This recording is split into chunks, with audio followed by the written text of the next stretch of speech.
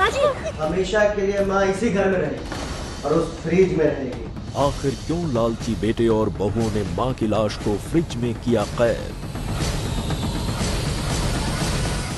Crime alert हर रात 10 बजे दंगल पर जुर्म के खिलाफ आवाज़।